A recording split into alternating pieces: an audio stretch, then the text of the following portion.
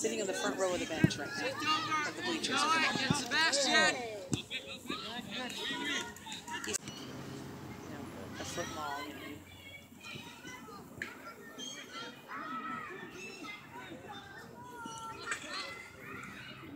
know, Come on.